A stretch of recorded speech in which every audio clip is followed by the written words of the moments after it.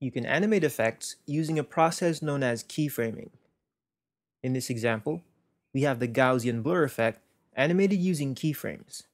As the video plays, you see the blurriness amount changing. To add keyframes, let's first apply an effect to a clip in the timeline. Make sure that the clip is selected, then go to the Effect Controls window and expand the effect properties.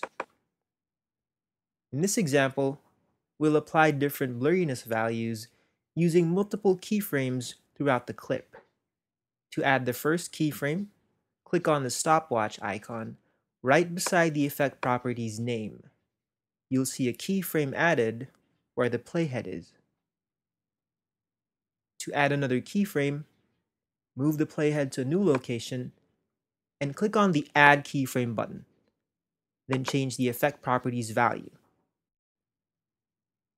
Let's add one more keyframe to the end of the clip. Move the playhead, click on the Add Keyframe button, and change the effect property's value. We can move through the keyframes using these buttons. We've got our first keyframe with a blur value of 0.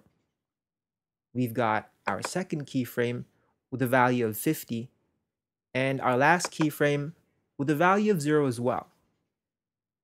So as our video plays, the blurriness begins at 0 and will start to increase up to 50.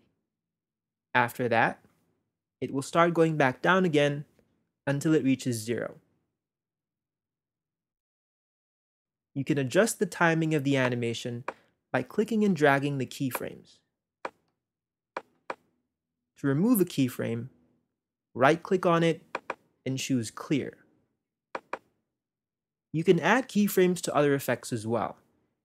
In this example, keyframes were added to the position, scale, and rotation properties of the motion effect.